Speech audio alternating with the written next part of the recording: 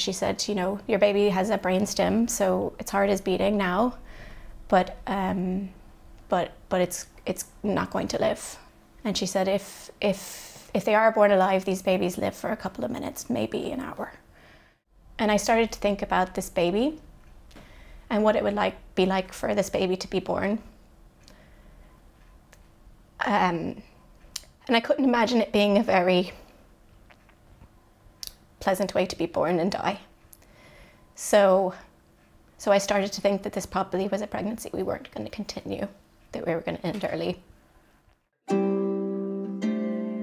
In Ireland, abortions are permitted only when the mother's life is in danger, so Amy was given a choice. She could be looked after in Ireland until her baby died, or her medical paperwork could be sent to Liverpool, and Amy and her husband Connor could follow that paperwork to the UK for a termination. We were taken care of really well physically. And, and once we explained our situation, the doctors were really, really lovely and kind. Um, and while we were there, we started to think about how we would get Nico's remains home. We got on the flight then back to Dublin. So we were like, now what do we do with Nico? Um, and nobody tells you what you can do, whether there's a place to bury your baby or if there's a place you can get them cremated.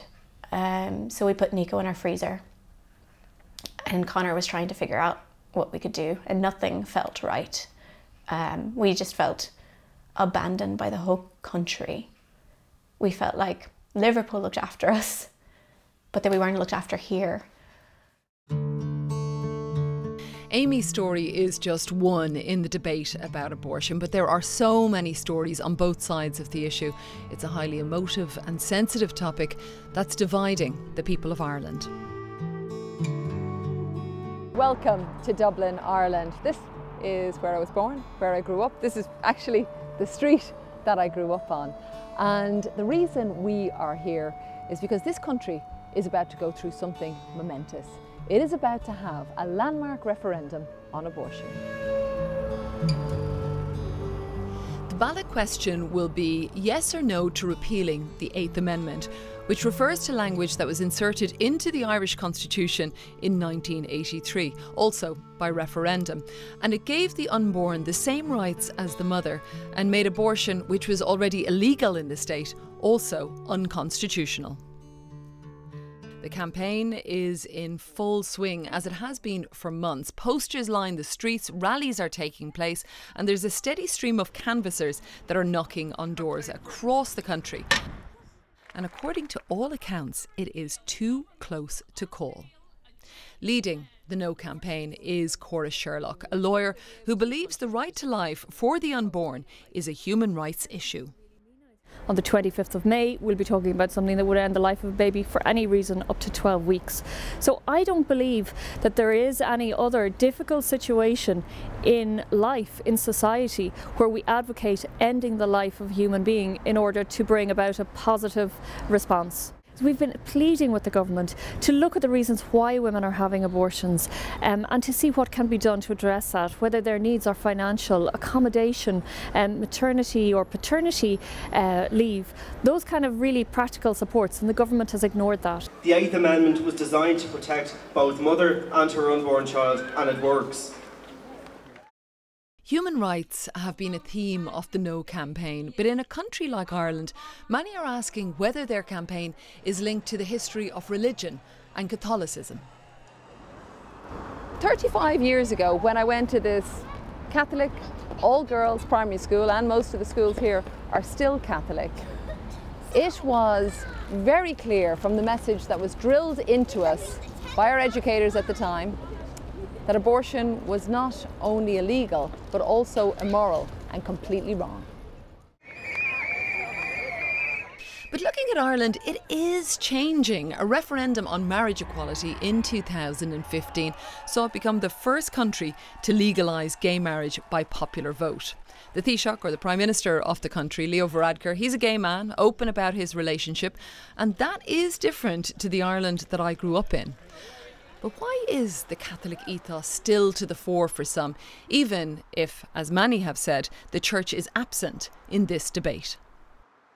In 1922, when, when uh, most of the island gets its independence uh, from Britain, one of the most powerful organisation and the wealthiest organisation within society at that time that controlled healthcare and the education system was the Catholic Church. The government, uh, with a treasury that was practically empty, was quite willing to let the church uh, continue on as the, the uh, carers within the healthcare system and as the educators. Tara Flynn had an abortion at the age of 37. She's campaigning for yes. When people say to me, you should hear out the other side, you must debate the other side, I, I, say, I have heard out the other side. I heard nothing but the other side growing up. I've lived the effects of what the other side uh, engenders. That's what, that's what it engenders is solitude, secrecy, fear, and having to get healthcare elsewhere. And one of the reasons I speak is the deal here is that you, if you have money, you uh, and you have means, and you're physically able, that you travel and then you lie. You travel and you pretend it didn't happen. Um, what about the people who don't have the means? I'm finding that the debate on this referendum, on both sides, is often framed in terms of healthcare. So I wondered, what do the medical professionals in Ireland think? And you probably won't be surprised to find out that there too, it's also divided. Dr. Peadar O'Grady is one of the advocates looking to repeal the Eighth Amendment, but other doctors are convinced the opposite outcome is the right one. When a patient, a pregnant woman, walks through my door, I have two patients. And Ireland uh, has been a wonderful country in supporting uh, every life, no matter what disability, uh, no matter what the circumstances are. We've always protected women um, and fought uh, to preserve every life. And so a vote no is very important to preserve that. Everyone I've met has been so considered and thoughtful about their opinion, whatever side of the issue that they're on. But I have found that some people are still speaking in whispers, unable to discuss tough issues like abortion openly. And I wonder if May 25th, whatever the outcome, that it might become a catalyst for the people of this country to talk openly to friend and to neighbour and debate what sort of future Ireland that they want to live in.